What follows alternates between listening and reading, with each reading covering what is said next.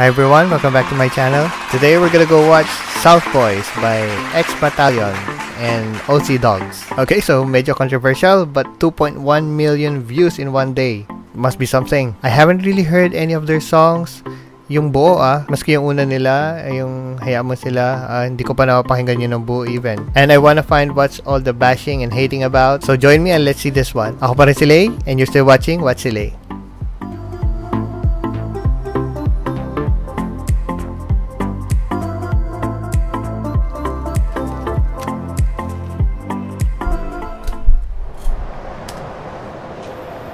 South Boys. Okay, car, Lambo, private jet, helicopter, wad of cash. Looks like they they have everything in this one.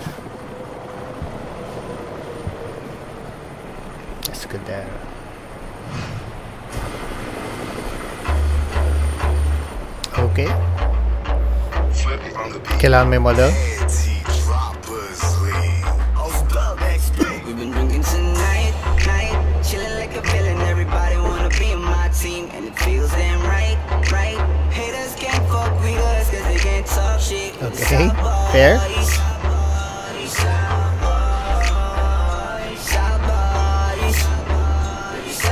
Fair enough so far.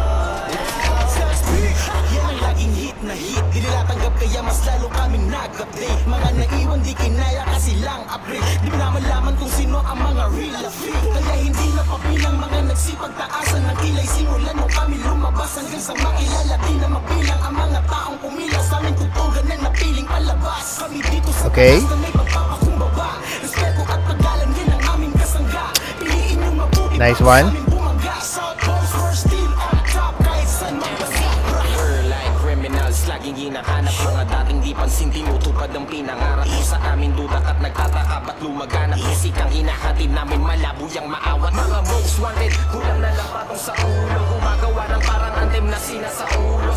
Sa finals kita kiss kasi kami ang nasa dulo. Modernong musika, di ba kami ang pasimuno? Parang droga sa Pinas. Hindi maawat to, maririnig kami Kahit saan ka nakatapak bro. Kahit sa radyo man ito o dyan sa TV nyo Hindi mo masasabi na walang dating ang grupo ko. Although hindi ko pa sila papakinggan masyado sa... Actually, hindi ko pa sila papakinggan sa public transport. Siguro hindi lang nila ako madalas mag-MRT or bus.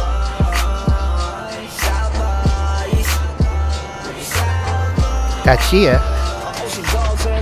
Kung magsama ay back to back Kung gumawa ng bago talagang suwak na swak Di mo na ang Alright, totoo naman yun.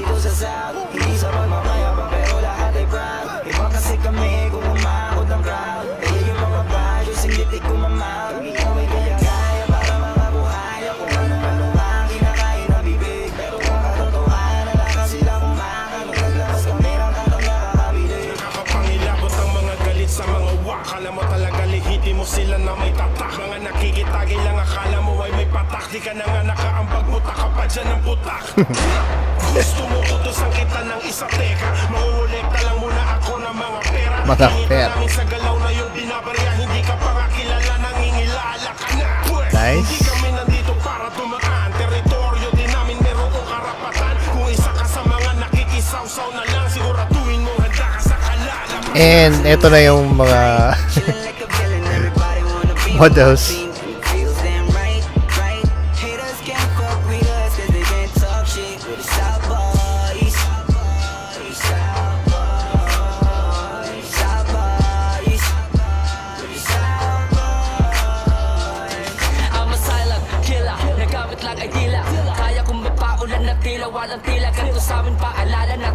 Natural lang ang asan Marinig ang banatan Alam mo na kung tagasan. We are the South Boys You can't believe what you see Yung dating tambay dami Mani may hawak na legacy. Nice.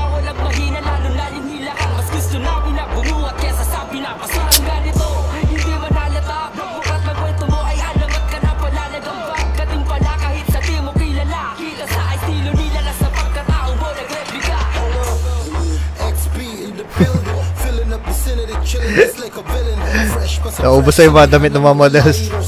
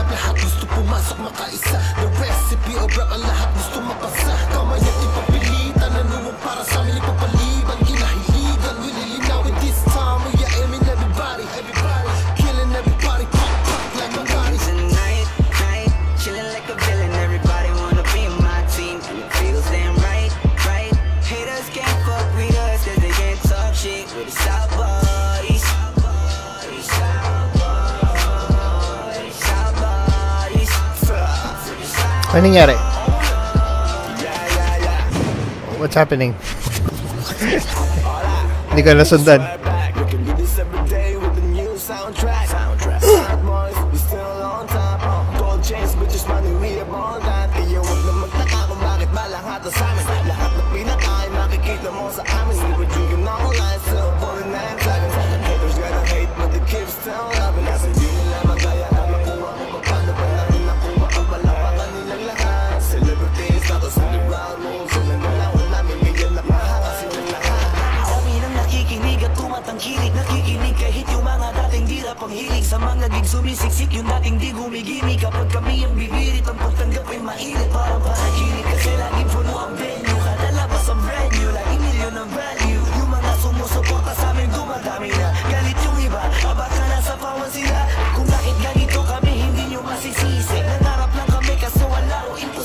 Nice.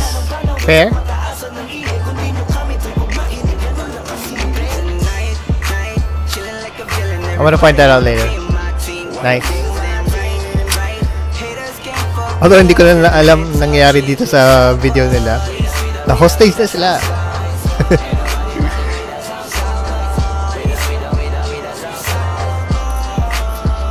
Parang may double crossing na nangyari.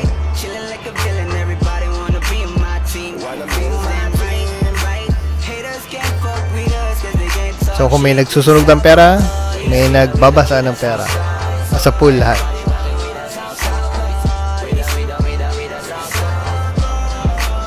Okay.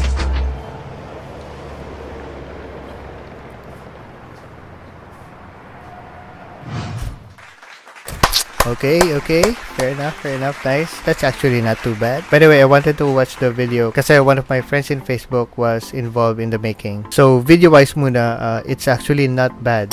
Um, it's actually very, very good. Um, technically, cinematics, uh, color grading, all these are technical, but this is actually a good video. Um, congrats sa gumawa nito, sa nag-shoot, nag-direct. Uh, may credits naman doon sa sa official video so you can check that out. Actually, I wish I could say the same sa mga music video ng mga pop singers natin. Kasi kung sino pa yung under sa bigger label like Universal, sila pa yung low budget eh or tinitipid yung mga music videos. And this one by X Battalion featuring Aussie Dogs. They spared no expense, obviously.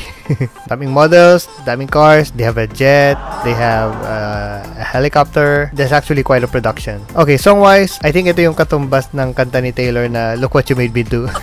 Which is mostly a reaction to Taylor's haters, uh, bashers. So they have actually quite a few good words on it. Good lyrics, medyo malalalim yung nababato nila rito. The song is actually pretty catchy. I think the song could stand out on its own sa totoo lang. Sa tingin ko, it didn't need a lot of uh, models in there. Kasi I think watching the video, uh, siguro the first time mong papanoorin, either panoorin mo yung story or papakinggan mo.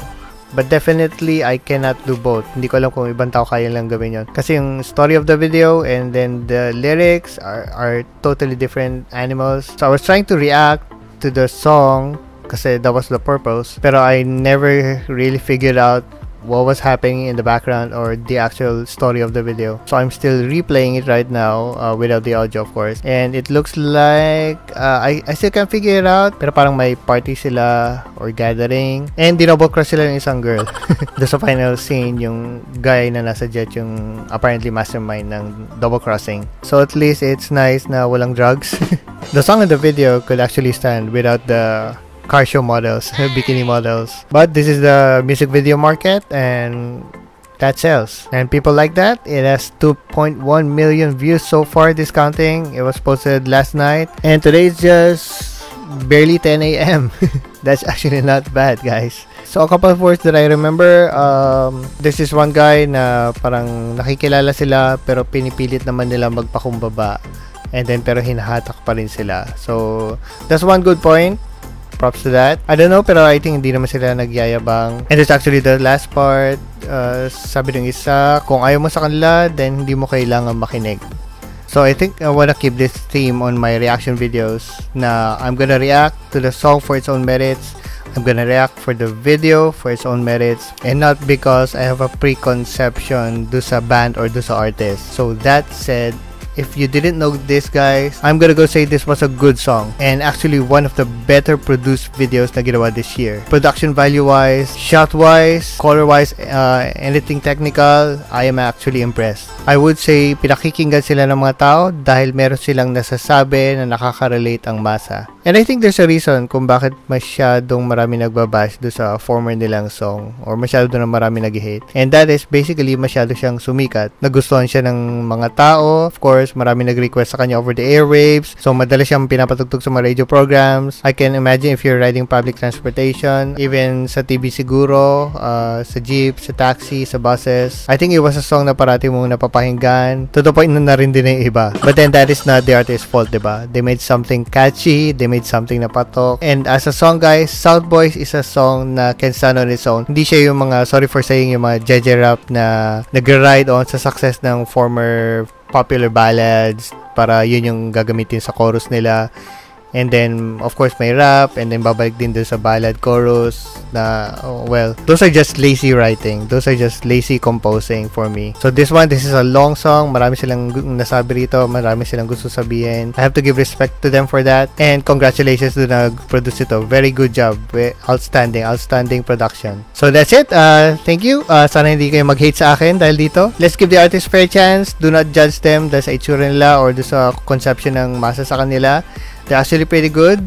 Kung gusto nyo sila, that's no problem. Support them kung nakaka-relate kayo sa songs nila. Again, thank you for joining me. If you like this, you can like, comment, and subscribe. Send me your requests. And we'll see what we can do. Ako pa rin si Lay, and till next time.